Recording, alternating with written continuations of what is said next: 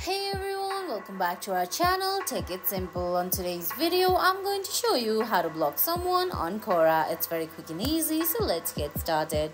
First of all, open the Quora app on your phone. If you don't have the app yet, you can get it from Google Play Store or the Apple App Store. Once you do that, launch the app, then sign in. Now on the screen, you can see options like home, following, answers, spaces, and notifications.